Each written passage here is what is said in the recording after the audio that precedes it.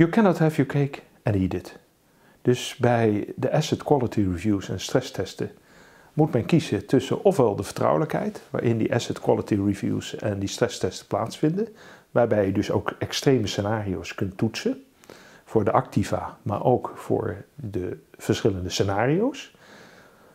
Of je gaat voor uh, het publieke, uh, de volledige transparantie, maar daar kun je geen extreme scenario's toetsen.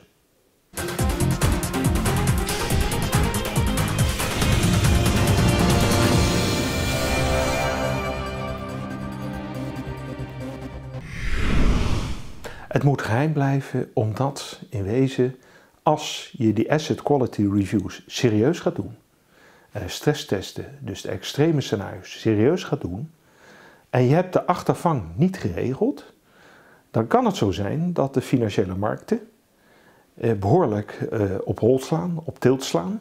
En dat wil je niet, want we hebben nou eindelijk even rust.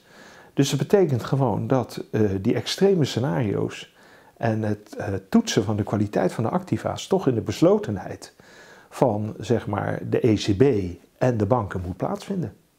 Maar het allerbelangrijkste is dat je natuurlijk gedurende dat proces al je rekenschap geeft wat nou de achtervang is. Hoe gaan we dat probleem oplossen? Maar die achtervang durven politici niet te regelen omdat ze niet weten hoeveel geld het gaat. Ja, maar dat is het kip en het ei of catch-22, hoe je het wil noemen. Je kunt alleen maar die asset quality reviews en die stresstesten doen als je weet dat je een voldoende achtervang hebt, want op een zeker moment zal dat toch bekend raken.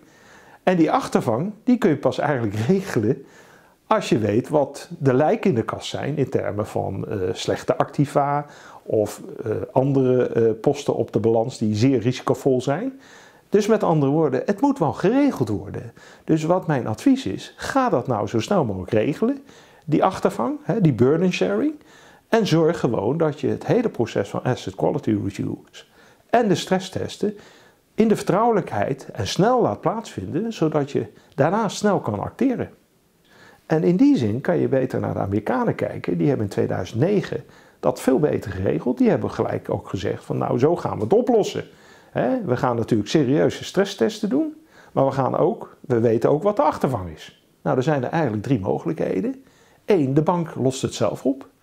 Dat is het bekende bail-in regime. Alleen het vervelende is dat het bail-in regime pas in 2018 ingaat. Dus mijn advies is aan het Europees Parlement in mijn briefing paper om dat naar voren te halen. De bail-in gaat naar voren. Dus subordinated debt, hè, achtergestelde leningen, die gaan als eerste meebloeden. Dan senior debt, dat zijn uh, die uh, minder achtergesteld zijn. En dan uiteindelijk kun je zelfs ook nog bij de depositohouders komen die niet uh, zeg maar boven de limiet zitten van het depositogarantiestelsel. Dat is de eerste trap. Als dat niet voldoende is, dan komt eigenlijk de tweede trap van de raket. En dat is namelijk dat de nationale toezichthouder en nationale overheden bijdragen. En pas in laatste instantie kom je bij het ESM, het Europees Stabiliteitsmechanisme, als een achtervang voor banken die op een zeker moment niet voldoende gecapitaliseerd zijn. En dat is de volgorde waarop het moet plaatsvinden. Alleen dat moet wel geregeld zijn. En het vervelende is, men is nu met die stresstesten bezig en die asset quality reviews, zonder dat die achtervang op een adequate wijze eigenlijk geregeld is. De uitkomsten van de stresstest, moeten die ook geheim blijven? Nou nee, niet als de achtervang geregeld is. Kijk, op het moment dat de achtervang geregeld is en de marktpartijen weten gewoon, nou oké, die banken moeten gerecapitaliseerd worden, geherkapitaliseerd worden. En dat is allemaal duidelijk hoe dat gaat gebeuren, dan is er geen probleem. Maar tot dat moment dat het niet geregeld is, is het natuurlijk buitengewoon uh, gevaarlijk om op een zeker moment die asset quality reviews en stresstesten te, te hebben laten plaatsgevonden, zonder dat eigenlijk de oplossing duidelijk is.